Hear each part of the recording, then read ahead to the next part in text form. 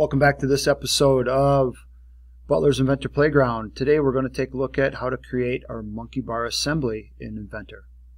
If you take a look, we have one, two horizontal monkey bars. We have one, two, three, four monkey bar ladders and quite a few poles to place as well. A thing to note is when we put the ladder underneath, it needs to go underneath the horizontal monkey bar, not on the outside of it.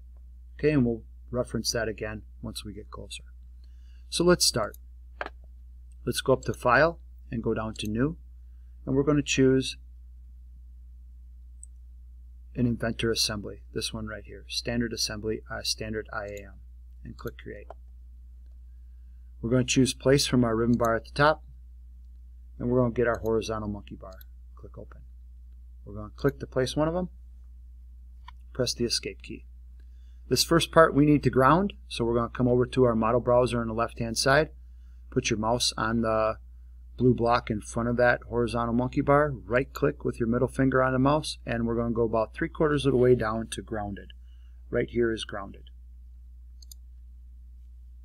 Next, we're going to go up and place again. We have seven holes, so we need seven monkey poles. Select monkey pole from your H drive, click open, and we're going to take and place one pole by each of the holes.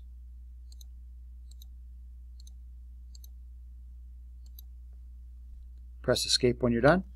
If one of them's a little off, not a big deal. You can always move these around. They're not constrained yet. And now let's place them into the horizontal monkey bars. We're going to constrain. And from here in our drawing, we are going to use the insert aligned command to place these monkey poles in here. Insert and aligned. So we find that in our constrain window and we're going to choose our insert command which looks like a peg going into a hole and we want to line the one on the right hand side. And this goes pretty swiftly. We want the red arrow when we touch our monkey pole with our mouse to be pointing up. If you're too far down on the monkey pole, that arrow is going to point down and it's not going to work out for us. So we want that red arrow pointing up. And then select the hole that it's going to go into. And click apply. See how that's nice and even flush to the end there? That's exactly what we want. Let's go on to the next one. Red arrow pointing up to the hole it's going into and click apply. And the rest of them should go fairly quickly for you. Make sure you click apply after each one. And especially on the last one, make sure you click apply please. Press cancel and let's go home. Looks great so far. Now we need that other horizontal monkey bar out here on the side, so we're going to place that part. Click place, go to your H drive, and let's get another horizontal monkey bar and click open. We're going to place it fairly close to where they are going to line up for us. Don't place it on top of the poles, please. Place it off to the side, give us a little bit of room, but the holes are aligned across. The extra monkey pole, or sorry, extra horizontal monkey bar that's attached to your cursor, let's press escape to let go of that. And now let's constrain. We're going to do that insert, the peg going into the hole again, and we want insert aligned. Click the monkey pole, and the hole that it's closest to that it aligns with. And that places them together. Click apply, press cancel. Now this looks like we're pretty good. None of the poles move. However, this last horizontal monkey bar that we added on, it does move, it pivots. So we want to make, make that not happen, and we have to put another constraint on there. So we're going to tip it up a little bit, and then we're going to get our constrained window open again. We want to have insert and aligned. We want to select that monkey pole way off on the end over here and we want the back side of the hole that it's going to go into. Not the front side on this one, the back one. And click to select it. Click apply, press cancel, and now that part doesn't pivot on us or move on us anymore. We're looking great. I'm going to zoom out a little bit just to give us a little bit of extra working room because what's going to be coming next are these one, two, three, four monkey ladders that we have to place on. And these are going to be added and constrained with mate and flush command. Mate and a flush command. So let's take a look at how to do that. We're going to place, we're going to get our monkey bar ladder, click open, and we're going to place them kind of close to where we want them to be attached. And this one doesn't go very good, so we're just going to place them over to the side. and press escape once you have all four of those down. We're going to start with this one here. We're going to constrain. I want to make sure I'm on my mate command and I want to mate the skinny end of my monkey ladder and now I want it to go to the underneath side of the horizontal monkey bar. There are a couple ways we can do that and rotate this around. I'm going to show you both of them. The first one is in our world view cube. I'm going to click the back lower left hand corner. That's going to rotate it up for us. And I know that I want it to go to the underneath of this horizontal monkey bar. So I'm going to get my mouse placed there and click to place it and click apply. When I zoom in on this, it looks like it's attached, but I'm still not even with the sides. So now I'm going to attach a flush command to this, and I'm going to flush the left side of my horizontal monkey bar to the left side of the ladder, and click apply. I can see I'm off over here still, so I'm going to flush again the front of my horizontal monkey bar to the front of my monkey bar ladder, and click apply. Press cancel, and let's go home. So we got one attached. Let's do the next one. We're going to try this back one back here. So let's constrain again.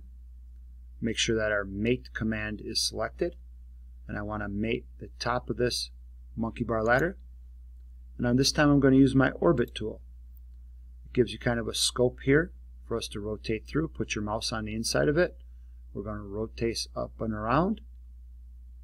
Go slow with your rotating if you're using this option it kind of moves pretty fast on you. Press the escape key to let go of the rotate command. And now I'm going to zoom in on the back side of where I want this attached. Press apply. You can see we're not lined up even Steven with the ends, so now we need to place our flush commands. So I want to flush the left side of my horizontal monkey bars to the left side of the ladder. Apply. Flush the front of my horizontal monkey bars to the front of the ladder apply, press cancel, and let's go home. Two attached, two to go. We're going to do this one next. Constrain, we're going to mate, top of the monkey bar ladder, and I'm going to click the front, bottom right on my world view cube to go into here. Click apply, and now I need to flush once again the right side of my horizontal monkey bars to the right side of the ladder. Click apply. Front of my monkey bar ladder to the front of my horizontal monkey bar. And click apply. Press cancel. Let's go home to see where we're at. Okay. Next, we're going to constrain again. We have one more pole left to do, one more ladder. We're going to click the top skinny end of that, and we can either rotate using the world view cube, or you could use the orbit constraint, whichever one you like best. And I want it to go to the underneath side of this horizontal monkey bar. And click apply. We can see that it's off once again, so we need to place those flush commands. Flush the right side of the bar to the right side of the ladder. And flush again the backside of the monkey bars to the backside of the monkey bar ladder. Press cancel and go home. Now the only thing we're missing are those poles that go on here. On each side there are six, so we're going to end up placing 12 of them. So let's go place. And here's our monkey par monkey poles in our H drive. Click open. And I want to have one, two, three, four, five, six on this side, and one, two, three, four, five, 6 on this side. Press escape when you're done, and let's constrain. Once again, taking a look at our drawing, we are going to use that insert aligned, insert aligned command to place these poles inside the assembly. Going back to our assembly, we're going to choose our insert command and aligned. And this should be fairly familiar to you. We want the arrow going up to the hole that's closest to it. We can zoom in if you like. Press apply after each one. Arrow going up on a pole to the hole that it's closest to and click apply. These go fairly quick once you get the hang of it. Just make sure you're clicking apply after each one that you place in there. Okay. Go home. We got that side all completed. Now we got to work on this side over here. Zoom in a little bit so that we can see what we're going and what we're doing. I'm going to take my insert aligned, click the pole with the arrow going up to the hole that it's closest to. Make sure you click apply after each one.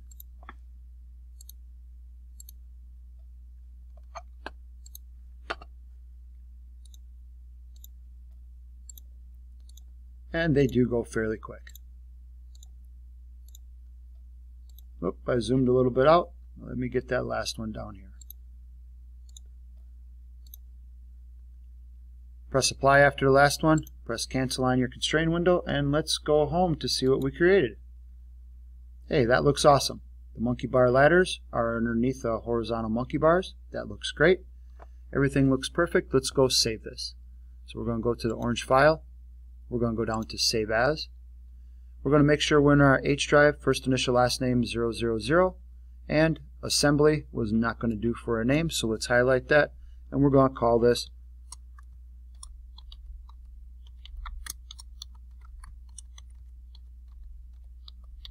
monkey bar assembly, and click Save.